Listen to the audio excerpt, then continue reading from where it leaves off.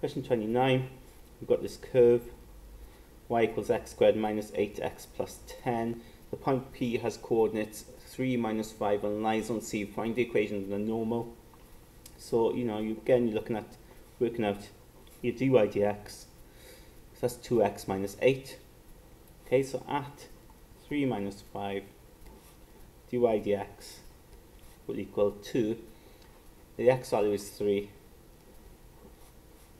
Becomes 6, take away 8. This becomes minus 2. That is the gradient, of course, of the tangent. Right, and just like before, once you've got the gradient of the tangent, you can get the gradient of the normal. So m1, m2 equals minus 1. So the tangent minus 2. So m2 then will equal minus 1 over minus 2.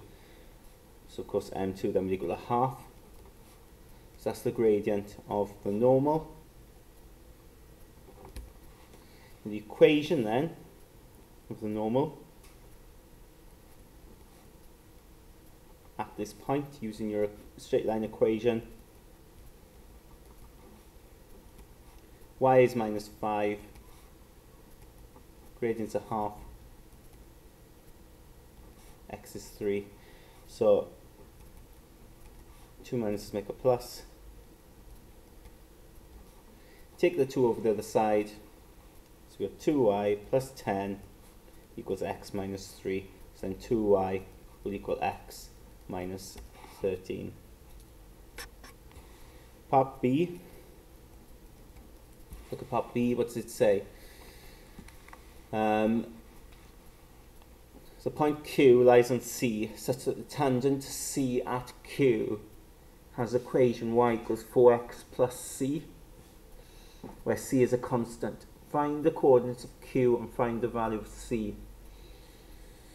Alright, so what we need to remember here, if you remember from GCSE work, okay, you were just study something called y equals mx plus c.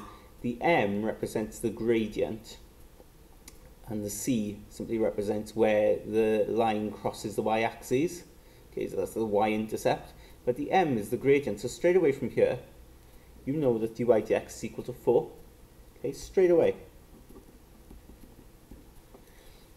Okay, dy dx is equal to 4. Of course, we've already worked out dy dx up here.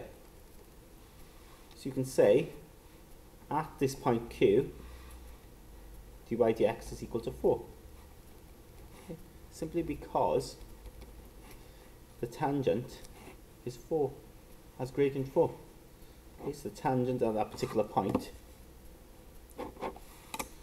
at Q, gradient of it is 4, which means the gradient of the curve at Q is also 4. So dy dx is equal to 4. So dy dx was 2x minus 8, which is equal to 4.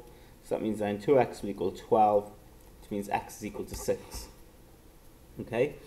Now, they ask for the coordinates, so we've got x to equal 6. We just need to work out y now. Okay, so in order to work out y, you sub in to the, the curve. Okay, so there's your curve in the question. So, 6 squared, sub the value of x in. Take away 8 times 6 plus 10. So take your time, that's 36, that's 48, that's 10, so y comes out to be minus 2. Okay, so coordinates are 6 minus 2. That's the coordinates of q. To work out c then, of course, don't forget you have got this. So we can sub in, because the, these points here, this point q here lies on the curve and also lies on the tangent. We can sub this in to the tangent equation so y is minus 2, x is 6. Okay, and you can get your c there from there. So minus 2 equals 24 plus c, which implies c is equal to minus 26.